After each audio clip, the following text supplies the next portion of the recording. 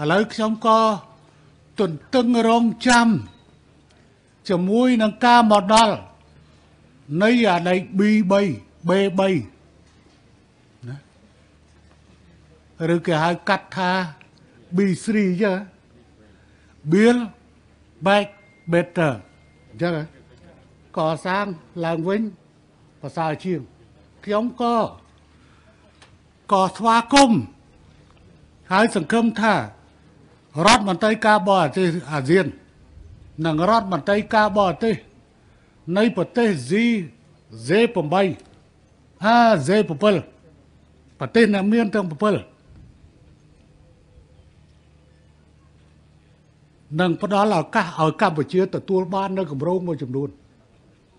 យើងនៅខ្វះស្ពាននៅខ្វះផ្លូវណានៅនេះ